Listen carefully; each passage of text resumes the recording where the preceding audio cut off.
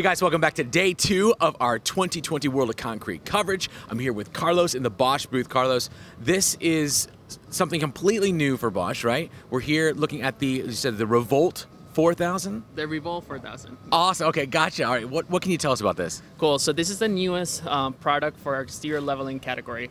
As you guys know, we've been working in this category for the last few years, and this is the result of all of our innovation and where we put most of our technology into the newest product.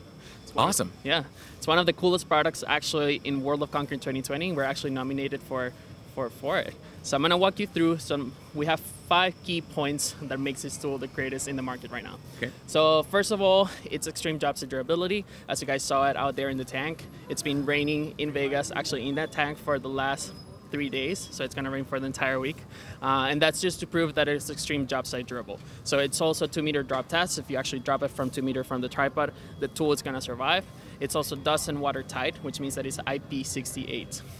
Another cool feature that we have with this tool is that we're introducing what we're calling user calibration or UCal, which allows the user to actually calibrate the tool on the job site. So majority of these lasers need to be as sharp as possible. So user needs to send it out to calibration every once in a while. Have dual dial in slope, so with the percentage you can actually input when you're working in grading applications.